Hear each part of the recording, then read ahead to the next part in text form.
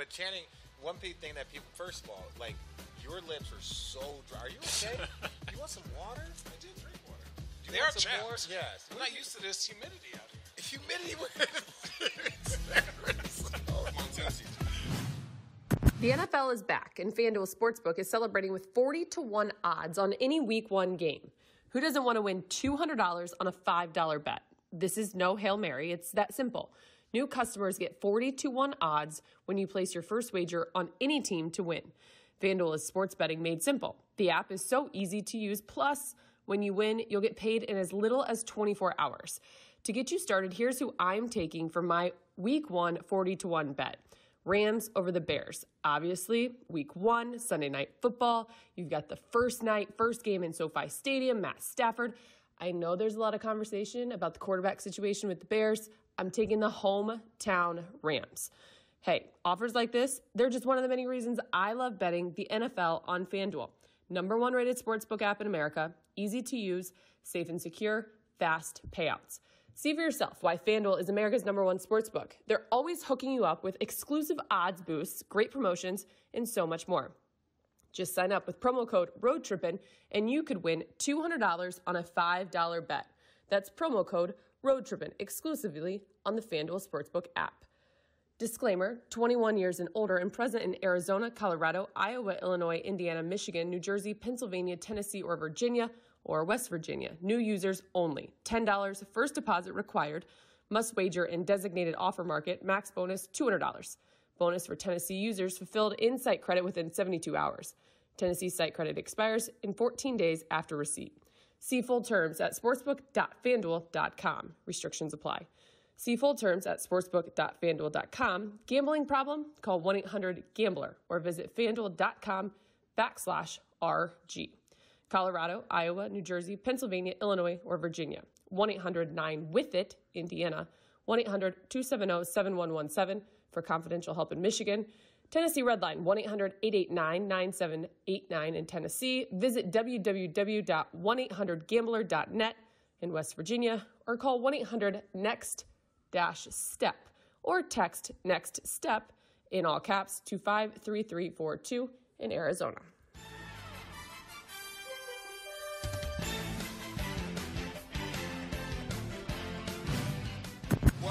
Special edition of Road Trippin'. I'm Richard Jefferson hosting, so you know this is going to be weird.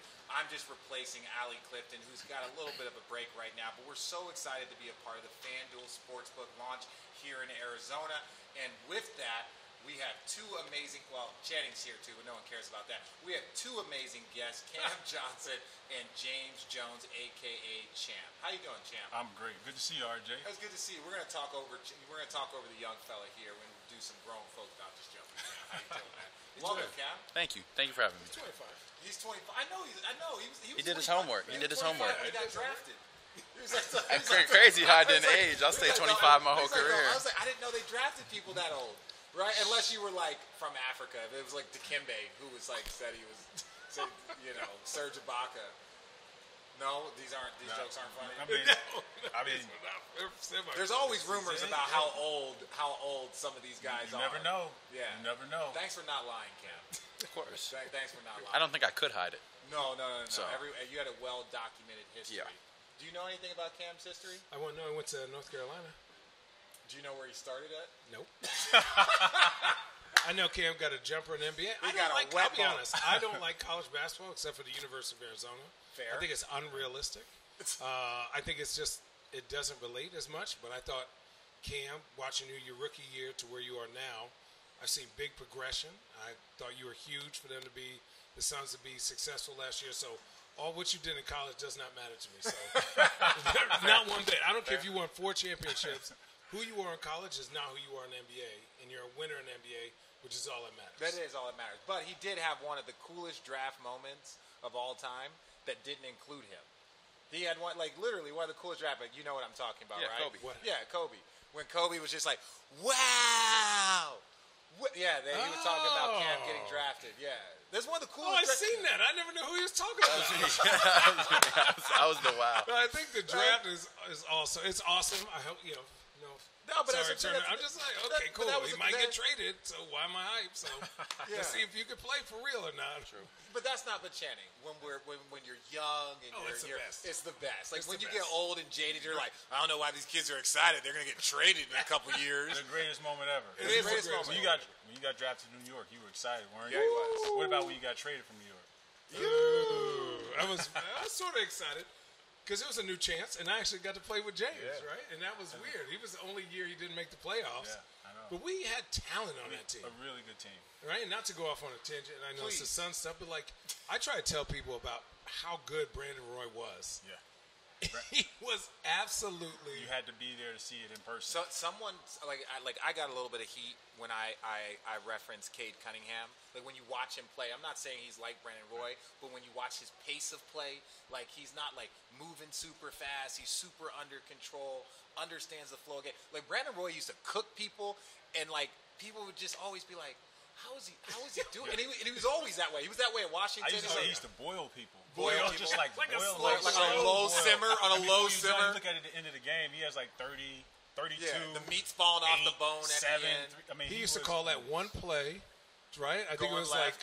like on the one free throw line. yeah. It would be like two down clear, and he'd be like Channing, other side. I'm like, dang, okay, my bad. I know I ain't getting it. Whether it was Kobe, Ron Artest, whether it was Andre Kirilenko, you know, Tayshaun Prince, he would just use one or two jab step moves, face up, pull up jumper. It was just It cold. did not matter. No, It didn't was, matter. It was tough. Yeah, well, look, before we get going too much and get down memory lane like the three of us, Cam, I want to talk a little bit about your experience this year. Uh, I had the I had the pleasure of going to the finals my first two years and losing, so I completely understand where you're going, where you're coming from. Channing never had that type of success. I don't know if James Jones did; he just won championships. But take me through like this experience. take me through this experience this year. You know, you, you had last year, you had the bubble, you guys were kind of building something, and then this year you come in and did, did you kind of know what was it different when you guys added Chris Paul? Was there something that you're like, oh, this year is going to be different? Yeah, um, I think the bubble gave us a lot of confidence going Mm-hmm. forward. But I think we're on record of saying, like, I know there's a couple of clips, a couple of interviews we did early in the season. They're like, you know, typical preseason stuff, but they're like, how, like, how far do you guys think you could take this? And we're all looking at each other like, all the way. Oh yeah, yeah, Like, yeah. we had a lot of confidence, and we had a lot of guys and guys that fill different roles, guys that do a lot of things. So going into the season, I think I think we were there. I think we knew what we had a chance to compete for. Uh-huh. Well, did you did you really understand how hard it is? Because that's what you know, Champ and I like. We, you know, we we been through the battles. Channing, all of us had been in playoffs before, and this was really your. I know the bubble was kind of an introduction to it, but like, did you guys fully understand how like much of a roller coaster emotionally, physically, like not having Chris for certain portions and just you know, did you understand how like emotionally draining like a finals run is? No, but they all told us, Champ, CP, everybody, Jay, everybody that had been to these points had told us that all these things are possible. So I think in guys that hadn't been there, myself, Mikal, Book, Da, in a playoff like situation, Yeah. just assumed everything was going to be cranked to the max. So Yeah. it's like nothing, like don't let anything catch you by surprise. So Mm-hmm. can't say we're specifically like, oh, we know exactly what's going to get thrown at us, but we're like, all right, throw whatever, throw whatever it takes at us. What is one thing that you realize about yourself, like in a good way, where you're like, damn, I didn't know I could go that hard, or if I just lock in defensively, or if I, you know, lift this type of weight. Like, what is one thing you discover about yourself? Because until you get pushed to those limits, right, you're not going to figure that out, right? Because you're just going to say, okay, I know I can shoot the corner three, Right. I know I can go left, but when you start playing guys up in higher levels, you go to Western Conference Finals, Finals. People know your scatter report. So, are you going to go right and cross back over left? You know, like what is one thing that you discovered about your game and yourself uh, through that playoff run? One thing in specific um, for me was the defensive concepts and rotations and how they kind of ratchet up, obviously, as the playoffs come along because you know the other team's trying to run, you know their personnel. Like as much as they know our tendencies, we're we're knowing we're understanding their tendencies, and so the watching it all come together and and really putting so much focus into understanding one team six or seven players. You start to hate him. It- It's You fun. start it's to hate fun, him. though. Yeah, it's fun. and you and you feel like you learn so much about defense in general. I mean, you you can listen, play all your life, but I learned probably more defensively in that two months than I had the whole rest of my, my career. Yeah, well, so like like having Champ and, and having veterans because like like Champ, I I I know you're in the front office, but I know you are an involved front office. Like I know you communicate with the guys. Like you're telling them what you see. Like, did you see a change in your young players from like the beginning? What what was the message that you were kind of telling them that like, hey, we can do this, but this is something that you have to pay attention to. It's going to be fucking hard. It's going to be this. It's going to be that. What was something that you were kind of communicating, and then you were like oh, they I think they might they might be listening and understanding. compete on the strength of your fundamentals, right? Okay. So I always talk about. He talked about defense, like more than anything in the playoffs, it's all defense. Yeah. Your best players are going to take the shots. You know, Chris is going to take 20 shots. Devin's going to take 20 shots. You're going to get three or 4 mm-hmm. You have to take three or four really good shots, and you can't make mistakes on defense because in the playoffs, one bad rotation is a run. You're subbed out. You don't play. And you so might not play another game. What I, what I saw with our younger guys bad from the first uh, playoff series, first game, was just their attention to the defensive rotations. And so you see some instances where five, six passes, I'm thinking like, all right, young guy, weak side, low guy, it's going to be a breakdown. And they're in the right spot. And I'm like, okay. I'm, and then the next game, same thing. Eight passes, low guy, supposed to tag, close out, force some baseline. And I'm like, I was expecting that to be a wide open shot, Yeah. and we made them do something differently. Okay. You know, and so like I had a chance to see them in those defensive moments where I'm expecting like, all right, that's PG, Uh-huh. and PG is going to win this matchup, and I'm like, oh, he held his own. yeah. That's growth for our young guys, and I said, okay, if, if they're com- comfortable and confident in those moments, now I can't imagine what they're going to be like after they review the end of this series and gain confidence and say, hey man, we just did that. Oh man, Well, and, and beating the Lakers now, now, now beating the Lakers in the first round. That that we understand respectfully that they weren't hundred percent, but you still beat the Lakers. LeBron James was on that floor. Uh, they had a ton of guys with a ton of experience, and they were the defending champs.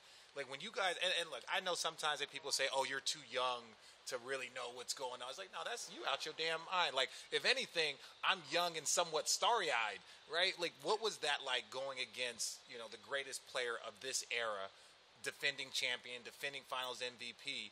Like, did that ramp up your focus? Was that something that you were kind of? Did you have that moment where like, holy shit, like we're playing against the Lakers in the playoffs? Um, I, it wasn't until we won the series, and like, that was the first time LeBron has lost in the first round. Yeah. That it was like, oh, Oh, you realize that it's never easy to beat a team led by LeBron James in the Yeah. playoffs. You know that going in, Yeah, that's why me and Um, Champ and Channing kind of like attached our attached. Nah, us, like, hey, and yeah, it's great. Come on, come on, come on, big fella. And look, I mean, so we had seen them at the end of the regular season. Yeah. And you could tell that it just felt like we were destined to see them in the first round. Yeah. And you could tell that the chippiness is starting to come into play and all that. So I think for us, like I said before, we didn't know what to expect. So you give us LeBron James and Los Angeles Lakers in the first round, and we don't have anything to compare it to. All we know is that we got to go out there and try our best Yeah, give everything we got, pay attention. Um, that scouting report for that, you know, couple days in between, you know, the end of the season, that first game was so detailed.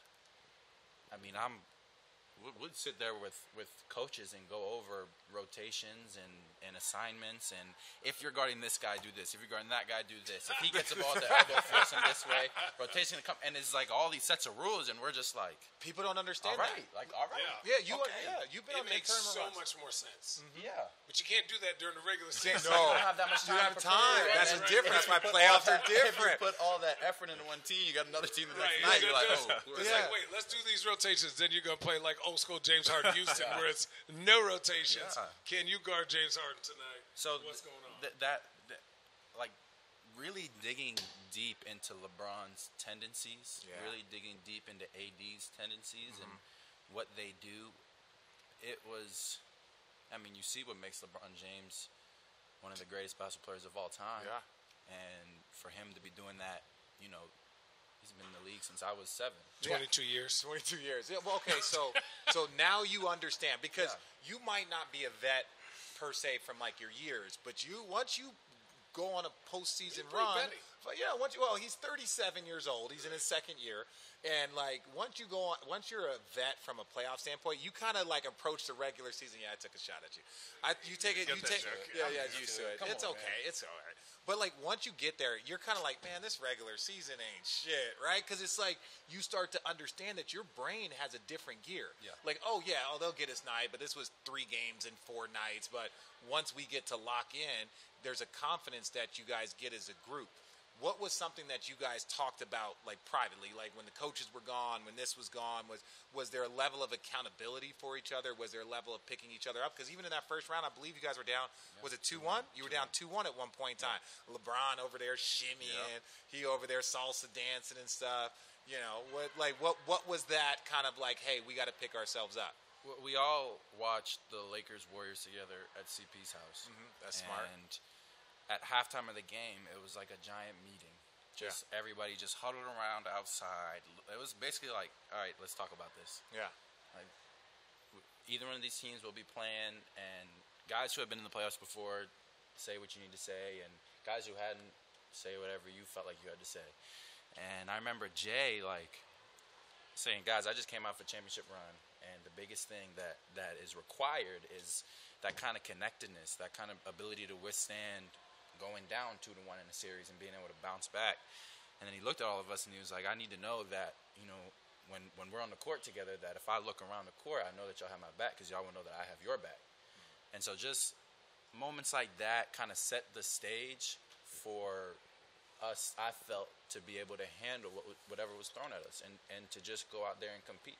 And I think we carried that throughout the throughout the whole entire playoffs. Mm-hmm. Anytime you know, whether it would be CP missing some time, or guys getting nicked up, or, or teams winning games that you know were close ones or hard fought ones. Yeah. No, no. Go ahead, Chang. So the Suns' culture has been, you know, I was here in 2010, I think to 14, 15, and that was a different culture. It was a winning culture, right? Not obviously not to the NBA finals, but we won a lot of games when we had a healthy team um, with Stephen Grant and Amar'e were here. And so the new culture of this team, what is that? And how do you continually to the right word isn't engage it, but how do you put another step on top of that this year? I think the the biggest thing is we're we're a working team, hmm. and we're a team too. So I, you hear a lot of when you get to the NBA, it's super individual. You know, you're not going to have a great relationship with your teammates. But I think our whole team has a. Those are bad teams, by the way. Yeah, Those Yeah, are bad you- teams. but you- Only bad So those are only bad you hear yeah, those are bad. Just make sure there's stories. yeah. People are like, "Oh, Well, if you're a lottery pick, you usually go it to a boo boo team. You know, some people say it takes away your love of the game, the business side, all these things. But my two years here, like,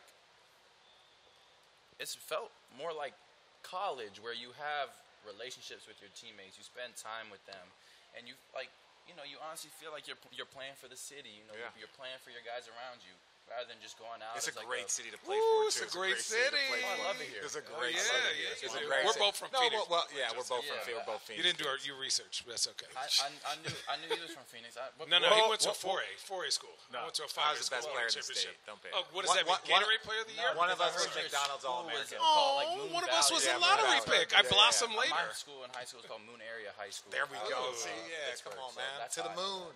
To To the the moon. moon. Ah, Uh, no, okay. Well, Ch- well. Champ, to the point about Chan- Channing talking about culture, like Gregg Popovich used to joke and say, you know, the Spurs were like a college culture. You with your success, and I, I and I just can't. I can't state it enough. Like you played in the league for 14 years. 14. You only were you were never on a team with a losing record. Nope. And you only missed the postseason one time. When I played with Channing. When you played with It Channing, wasn't which, my was- fault. which again, like, was still so trying to don't get me myself. wrong. Like, if shit's gonna go bad, it's gonna go bad with Channing around. So, No, like, we are still that. 500 though. We Yeah, are well, a rebuilding ooh, team. Well, okay. Anyways, in the West. how Young like, Brandon, young when you when so James. point being of that is you were around great cultures. Like it's hard in the NBA to win. It's hard to be consistently good, and it's not like you were on a bunch of teams. You were in Indiana, and I remember those teams. We played against you guys in the postseason, in the Miami teams. Yep. Then all of a sudden you go to Portland. So you you you were on a lot of success. How did you try and take all the pieces from those different cultures and start implementing them here in Phoenix? I mean, well, all those teams had a common thread. Every guy on that team loved to compete. And at everything basketball related. And so when you stepped on the floor and you're playing one on one, every guy wants to win. Yeah. If you're playing five on five and you're keeping score, who's getting defensive stops? Yeah. Every team wants to win. You don't find very many guys on our team. Uh, you won't find a guy on our team that's like, oh yeah, you can have that one. you can you can have that one. I'll get the next one. Yeah. Um, and that's that culture of work and com- com- competition. And so, if you think about like college environments, usually when you're in college, all guys do is play basketball and compete at everything: mm-hmm. horse, one on one, sprint drills, Yeah. suicide drills. And so, we wanted to make sure that we had the types of guys that would embrace work and competition, mm-hmm. and and that's where they shine. And so, when we you look at us on the floor, some nights we're going to be outmanned physically. Some nights we're going to have more talent than us. But our guys will always step on and say, hey, they won't outcompete us. They won't outwork us. And that's where they get their confidence. So one, one, one more. With when we're talking about Chris Paul having the dinner at the house, right? That sounded like a hundred dinners we had Yeah. during our chant. We well, it was dinners, some drinks, and like it was. But it was you know we would go over to Bron's house or we would go over to K Love's house and we would just do a dinner and just be around each other. And even when we were annoyed with each other, we couldn't stand each other or like people were beefing, not in like a negative way, like in a brother way. Like we understood the importance of being around each other the Chris Paul edition, like having that leader there, what was that? What did what did that mean? And like, do you see similarities? Because I've never played with Chris Paul, so like, but you know he's obviously a Hall of Famer, he's a legend. But like, are there similarities between him and Bron and how they try and bring people together to push towards a goal? Oh yeah, they care about their teammates, Yeah. right? And and that's the most important thing for them is is not just winning, but helping their teammates win, right? Mm-hmm. And and there aren't any limits to how far they'll go to help their team win. So if that means having dinners, great. That means bringing guys in and listening to them. If that means spending extra time away, like going to a guy and meeting a guy where he is to bring him up to where you want him to go, mm-hmm. that's what those guys do because that's their nature. Their nature as leaders is to, to lead a team to victory. And so having Chris, a guy that if you ask anyone that's ever played with Chris, they're like he's the most competitive guy. All he wants to do is win, but he doesn't want to win for himself. Yeah. He wants to win for the team, and and it's genuine. So it's not tough to take criticism from him because you know where it's coming from. It's not hey you're holding me back from winning. He's like no this is holding you back from winning. So listen to me. So that's that's why he's been so instrumental for us. I, th- I think one thing that I've always noticed about you is your assessment of talent is pretty dang spot on, right? And I've uh, watched as you you know worked your way pretty quickly up to you know you obviously got executive of the year or whatever. But like for me, You just uh, whatever.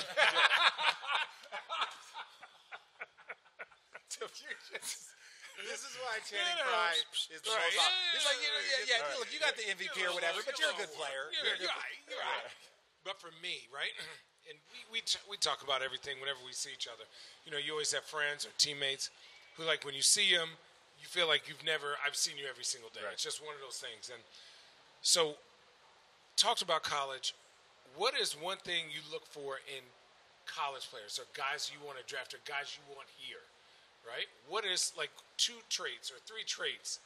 Again, you said competitiveness. You said they want to compete. What are some other things so people listen? It's like, hey, you don't have to be the best shooter. Right, You don't have I to be the best rebounder, but you got to compete. You got to try. Those, so those are behaviors, right? Right. Competition, the working part, like those are just your actions. It's your, your behavioral pattern. Like you're going to come every day and you're going to give what you have. I look for capacity. Like I'm, you know, I, I think what happens in, in in our game too much is people talk about potential. Yeah. A guy potentially can do something. Yeah. He can't shoot now, but if he works at it in two years, maybe he'll be able to play. Well, I understand as a player at this level, when you're playing with the against the best in the world, you have to have something you can hang your hat on every night that gives you confidence that if I do what I'm supposed to and I continue to work on these other things, I can survive. And so for me, I look at a college guy who has experience, has been there three or four years, has demonstrated over three or four years, he can rebound at a, at a high level. He can pass at a high level. He can shoot at a high level.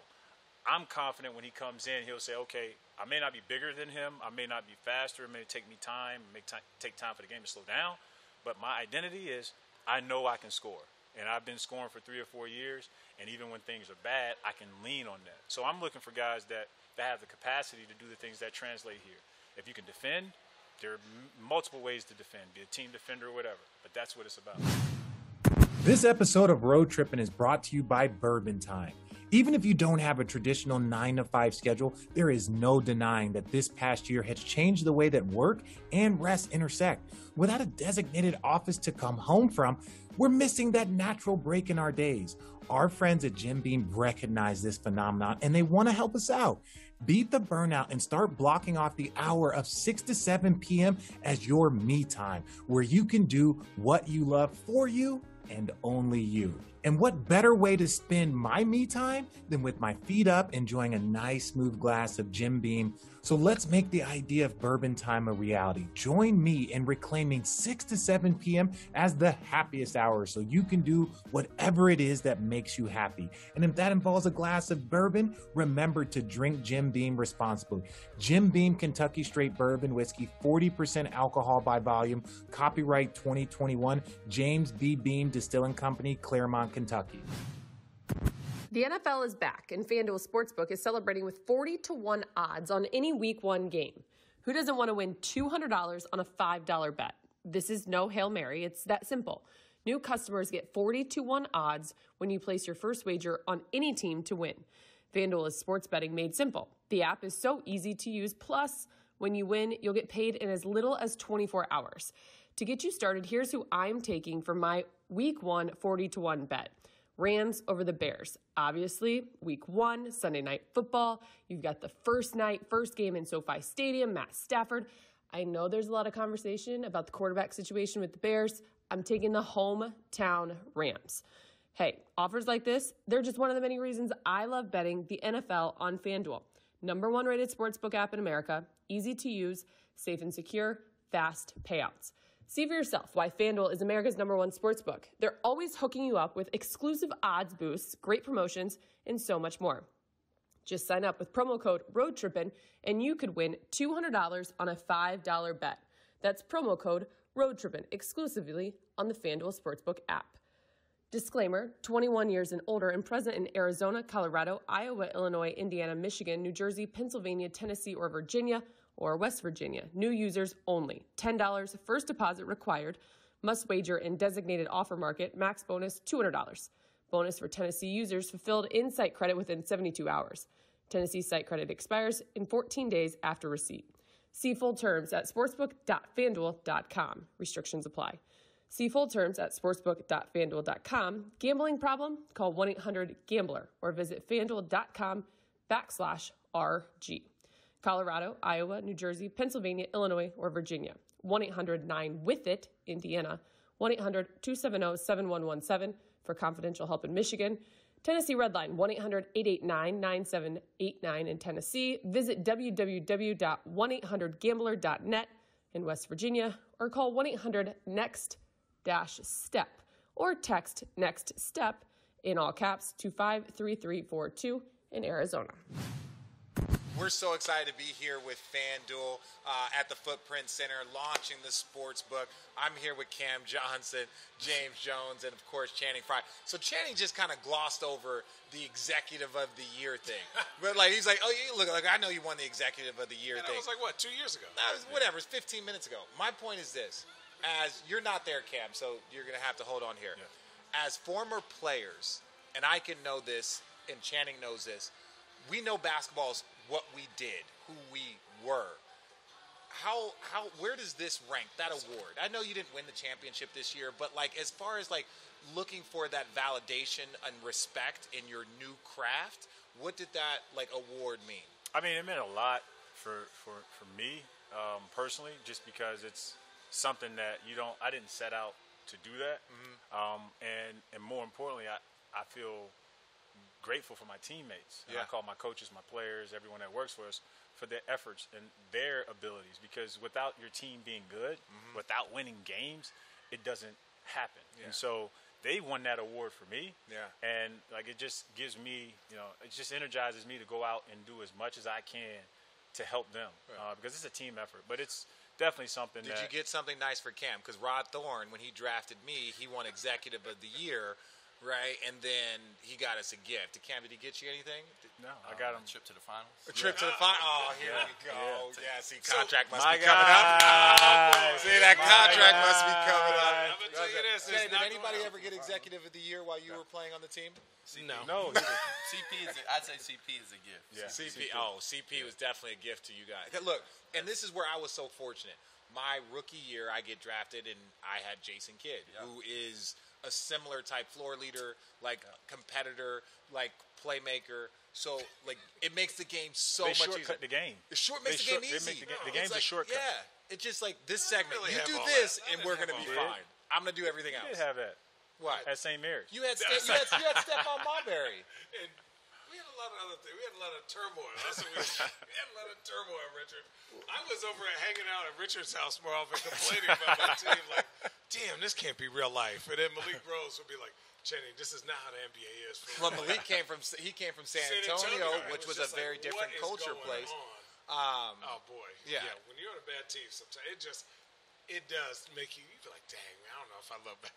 so so Getting this whooping by 50 ain't it. So I want to talk uh, about some of your as as you say. Ayton, our Arizona boy, Wildcat, number one pick. He made some tremendous growth this year. And I'm not going to lie. I'm going to sit up here and say that I have complained about DeAndre before. When I saw him shooting threes, and when I saw him shooting jumper, it doesn't mean he's not skilled or doesn't have that ability. But I'm like, this dude's built like David Robinson. Like, like, yes, that should be in a that should be a cherry on top of what he can do. But like when you guys brought in Chris Paul, and you could see kind of like how his game started to really mold into a dominant, dominant big man, not just a rolling, you know, roll roll to the rim, but post moves, some post work. Like, was there like an individual thing that you had a conversation with him because his game started to evolve in a, in a much quicker once in, in the, probably the last eighteen months. I just told him to try to. I try to simplify it for him and tell him to focus on the things in the areas where he could dominate. Yeah. Right. Like, you, if you think about where he can excel the most, those are the areas we can help our team. Uh, our team is built on the perimeter, and the entire interior is, is his. So if you if you want to score down there, you're not fighting and competing with anyone else. Yeah. We'll concede that. There's no one else that You just up. have to go and, uh, and, uh, and attack that. And so it's like don't stand on the perimeter shooting threes. Yeah. Our, our, our guards will do that, and you won't find them down there trying to post up and take your jump hooks. Yeah. So he, he embraced that, and I think with Chris and, and our, our, our teammate, just the chemistry amongst our team, it allowed him to find his zone. Because you know, with big guys, all Yeah. the big guys It's, want wor- to it's nothing venture to the worse than big men that just want to stand Channing outside. knows you got a straight shoot. Channing ratchet. mo- They just Straight ratchet. they just want to be on the perimeter. When you're a. Cam, Cam, specialist, Cam's when looking you're- at Cam's Right. looking at you like now, like, are you a good him. shooter? The No, reason he's I am the way I am is because of this guy. He goes, Channing, if you're going to be a specialist, be a specialist. There is a ro- there is room for you in this league for a long time. And I said, really? He goes, man. When I was in Phoenix, we did this. Channing, you have an opportunity. Where did I go next year?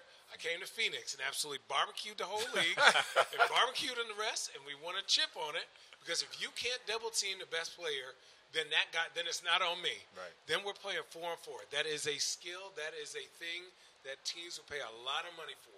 Playing four and four with a guy like Devin Booker and DeAndre Ayton rolling will make you lots of millions of dollars. So don't be fooled by all this. I'm not posting up. I'm playing with Kevin Love and Bron and Tristan. I don't need to go down there. Come on out here to Frye Island. Channing, I play with you in 2K. Oh, okay. Do you play with Richard? Do Did you you ever win? Richard? Did you ever no, you don't play with Uh, Richard. Nobody Yeah, plays come on, man. My corner to have a big in 2K that can shoot, it sometimes it's just. It's just a, yeah, yeah. Ah, feels good. But Oh, now you got to know, drink that water. But Da found his own. He found his own. He did, and, and that was Oh, that and I was was big so for us happy.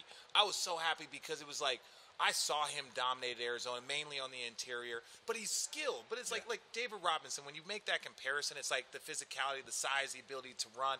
It's not like a like David Robinson wasn't Shaq. He was a skilled big man. You know, we're older, so it's the Rik Smits, it's the Patrick Ewings. Those are the guys. It's like, Smits. yo, no one's trying to take away your growth of your skill, but like you can see that there was a trend of like more not to your point, the area where you could help the team most or where they needed the most help wasn't getting the most attention. Correct. Right. And that was the part for me where I'm like, dude, you could be one of the best big men of this era for the next 15 years because he's only what? What, 22. he's like 16 right now. 23. Yeah. I'm not great with guessing ages. Like, it's not great. It's close. Some, something around, something along those But- lines. But go ahead. I'll say, as a big man, the most dangerous and the most and the best part that feels great is when your mind is quiet. When you go out to a game, you don't have to do anything that is, like you said. A, I'm not trying to do a little bit of you, a little bit. Of, when I saw him catch the ball, look, take a dribble, and finish over a two guard that was on the bottom weak side, I was like, he gets it. He's not in a rush. He's not trying to like dunk on three people. You have a mic in your oh, mouth. Oh, sorry.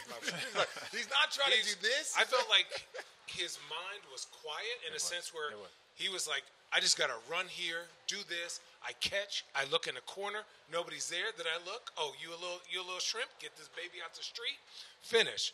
And when he started doing that, teams are like, oh dang, we Oh. can't rush him, Yeah. right? Then he was catching the, behind the lobs, and he was just doing things that were so simple that he goes. He started to get his confidence from it, and then his energy started changing defensively Yep. where he was stopping the stopping the ball and then getting back to his man on the lob, right? Which is one of the hardest things to do in the NBA as a big man, especially when you have guys rolling behind you. Especially when you're like, as athletically gifted as yourself.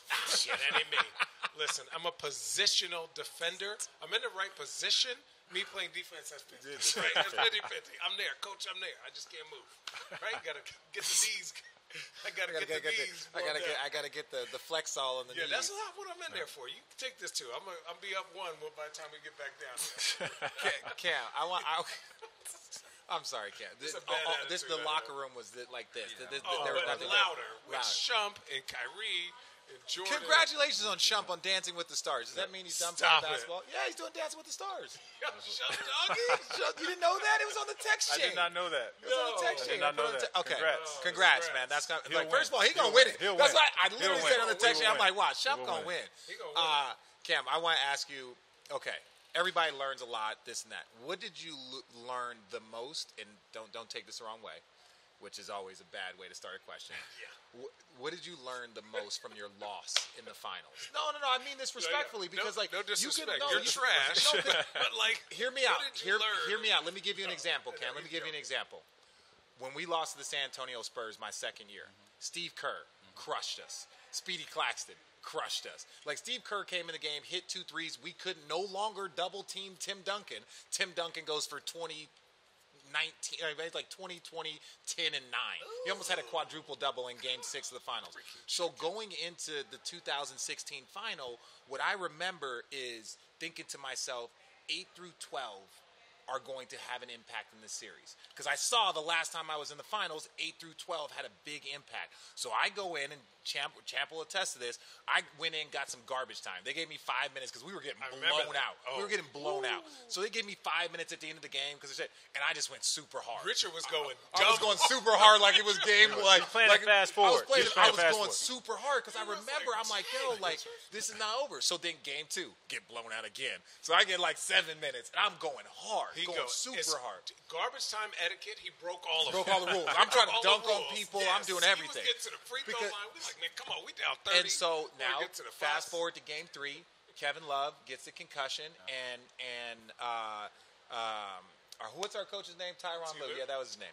T. Lue goes, man. Well, Richards played. Who should we start instead of Kevin? It's like, well, Richards played well in the minutes that he had, and then that ultimately gave us a little bit of momentum. We went small, and, and that worked. So I learned a lot in my loss to the Spurs because six through, I mean, I want to say eight through 12 had an impact. So I came in thinking, like, okay, I'm one of the eight through 12. Don't take shit for granted. Come in, lock in. You get five minutes, go hard. You get two minutes, go hard because it's going to have an impact. So I say all that. Did you learn something from your loss that you feel like moving forward could actually give you something, you know, to grow on? Um, yeah, I did. Um, I think a big part of that was just figuring out how to stop teams and figuring out how to stop something different. The, the Bucks presented us with different challenges than than we had seen most of the playoffs, um, and, and a lot of it was their size. Yeah. and you learn that you know guys like Giannis are, are pretty good, and when they really get going and hit every free throw too, It's a wrap. then it, it makes it a lot harder. Mm-hmm. and it makes it a lot harder to kind of force them to do what you want them to do. And we still have arguments about what we could have done better, what worked, what didn't work. Those will was- haunt you for the rest of your life. we'll- They'll never we'll change. always in, a, po- in a positive We'll- way. We'll yeah. start talking, and then Yeah. next thing you know, tempers are flaring because I'm like, we, some we should have done this. And I'm like, well, if we would have done this. Yeah.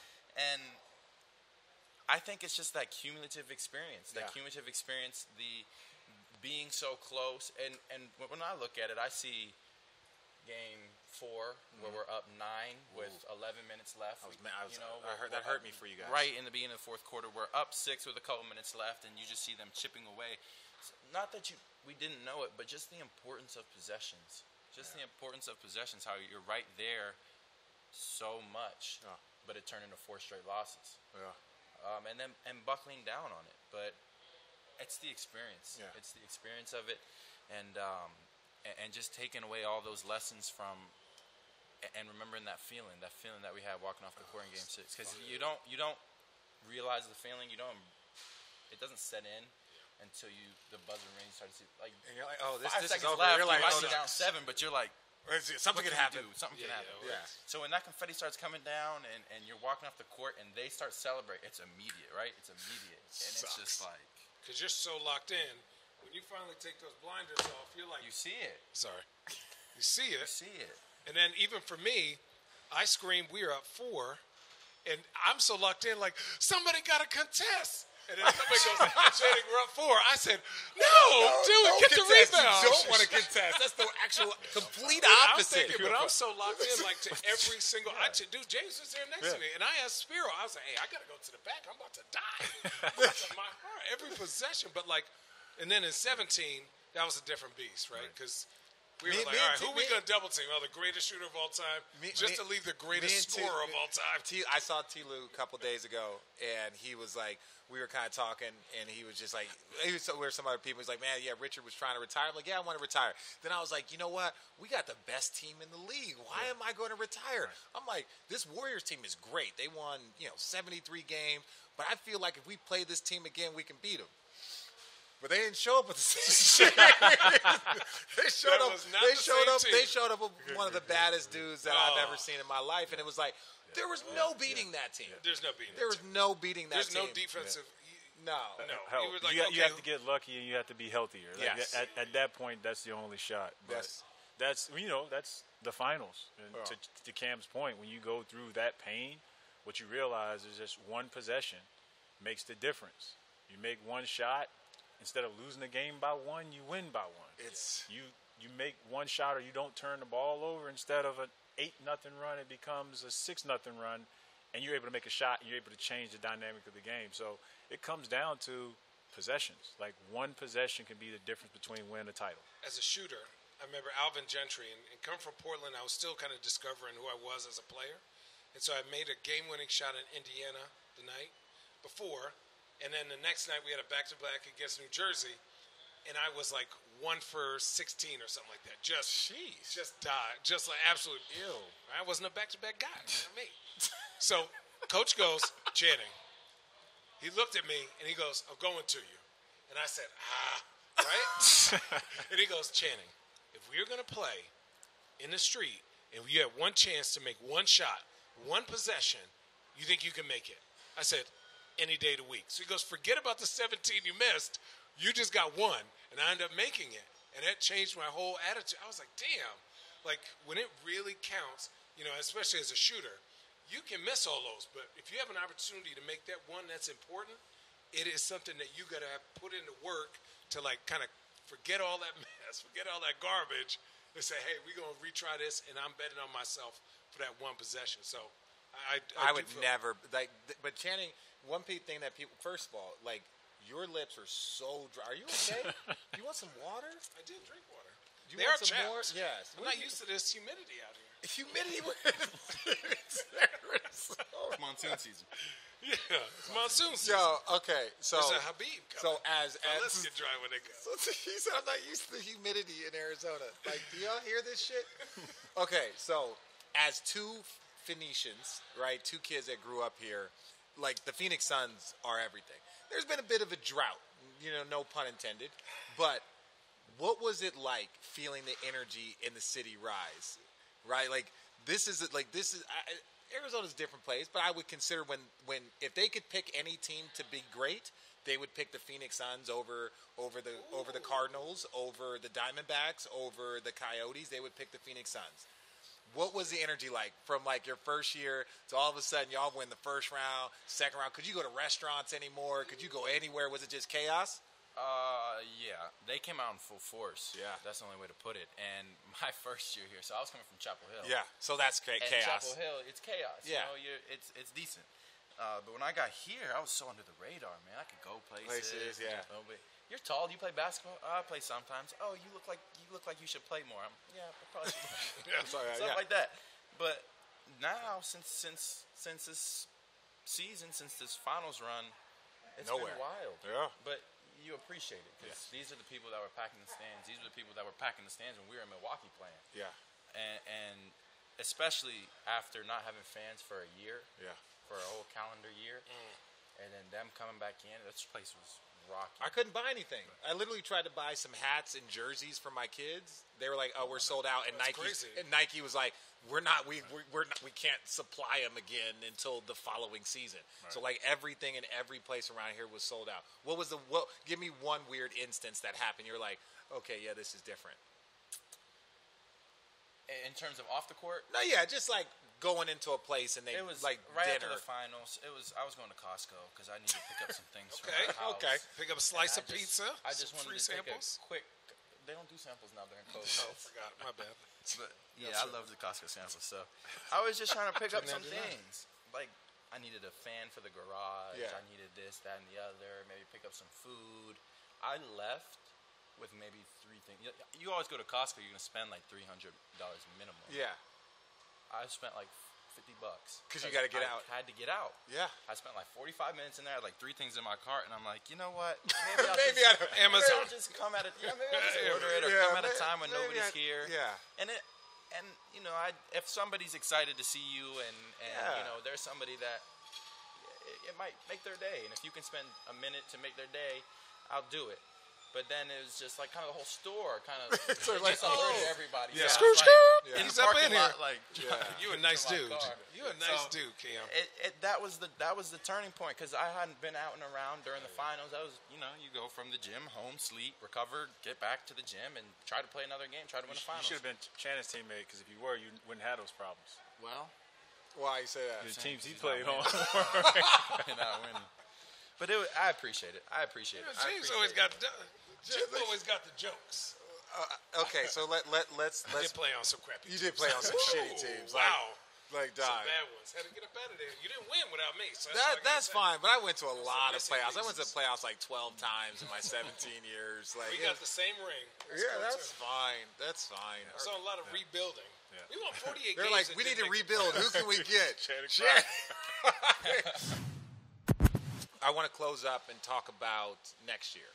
Like, not putting expectations on it. I want to talk about like your goals individually, and then you, well, I want you to talk about you. Then I want you to talk about the team, yeah. and then Channing. I'm just here with chap lips, man. All right, Cam. So like that's one of the fun things about the postseason is that when you have this type of like success, and it doesn't mean that you're averaging 25 through the postseason, but you understand. You understand now that you have another gear. That like Yeah. when I need to sit down in the stands, when I need to make that rotation, like I know I'm capable. What is something that you want to add to improve to your individual game for your own growth, and then also like ways that you can contribute to the team and add that? Uh, just playing more with the ball in my hands. Um, I have been very, very off ball oriented, and we got guys that like to have the ball in their hands. So I just, you know, find find shots, opportunities where I can. But being able to play more with the ball in my hands has been has been a big focus. I think I've made strides from year one to year two, and I think I'll continue to make them going forward. Just adding it, just adding everything. You know, like like Champ said, you do your things, you do them well, you know your role. Um, but for me, I, I I take and I try to add in. Yeah. I try to just ex- like like you said, start with what I have. Yeah. Start with what I know I can do, what I can hang my hat on at the beginning and end of the day, and then sprinkle the other things in as I get you know comfortable figuring out the team, the system. So I think these first two years have just have just been great in terms of what I've been able to pick up, what I've been able to see that okay, I need to be better at this. Okay, these opportunities present themselves. Okay, I can take more advantage of these opportunities. So just adding that in, uh, and then continuing to, to, to compete on the defensive end. Because I, I in high school, college, like I had the reputation of not defending anything. My coach Jamie Dixon pulled out a chair my freshman year in practice randomly at the beginning of practice and just started yelling at me, telling me, telling me I couldn't guard the chair. I'm like, Coach, we didn't even start practice yet. I didn't have a chance to guard anybody. By today." the way, by the way, I've known Jamie Dixon since I was like 15 yeah, years NAU, old. so Hey, he's out NAU, that's my yeah. guy. Yeah, I just yeah. saw him a couple weeks ago in Vegas. Oh, Yeah, he was yeah, the yeah, coach yeah. there. Remember Goose? Yeah, it was him and Ben Howland. Him and Ben Howland were at the Crazy. I used to go to their with camp. the team camp. Yeah. Yeah. that was a big like everybody go out to Flagstaff for the team camp. It was a good time. gassed. Yeah, Oh, oh, yeah. So since those days, it's always been uh, like, all right, I'm gonna prove that I can defend people. Yeah, and that I think has probably been- my biggest improvement since I since college, Mm-hmm. and I think there's still a long way to go in terms of uh, fully f- realizing that, fleshing that out, and, and, and getting to it there. Okay. Sweet. Sweet. Champ, this year your team. Now you understand that last year was a, a different year. I think everybody understands that. It's it's part of the, the ebbs and flow of the NBA. You know, what do you want to see from this team? Where like you guys ha- are going to be one of the best teams in the Western Conference. You're, you re-signed Chris Paul.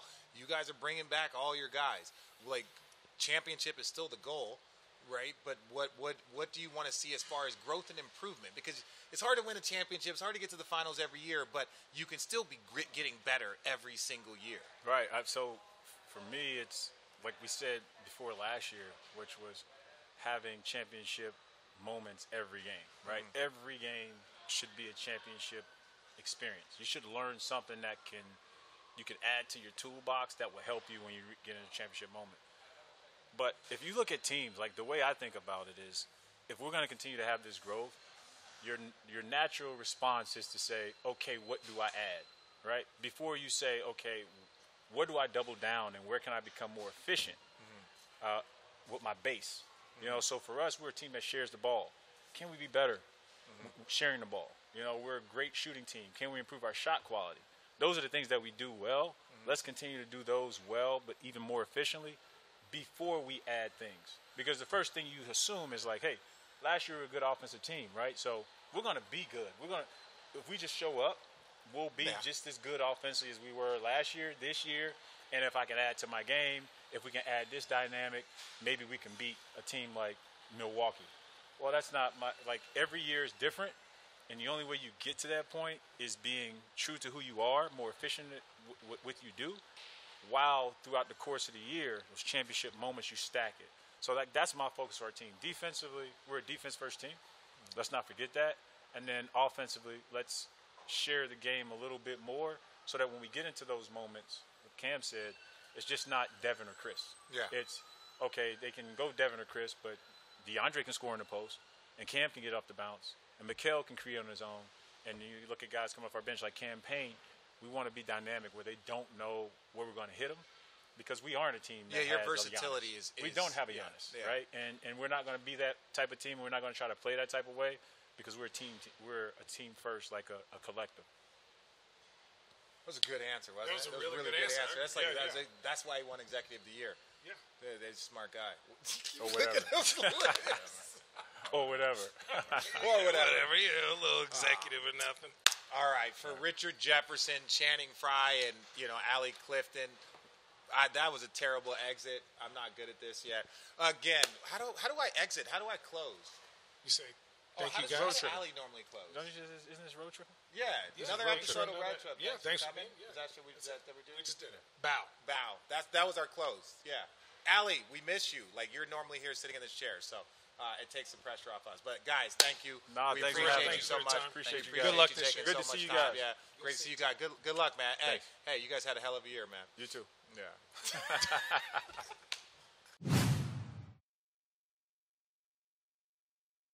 We want to thank the Wagner family of Caymus Vineyards for providing us with some of their delicious wines. In addition to Caymus Cabernet from Napa Valley, the Wagners made a range of other wines from diverse parts of California. We recommend trying them all. We're really enjoying sipping on them during the podcast, and we're also sending our lucky guests some Caymus and other wines made by the family after each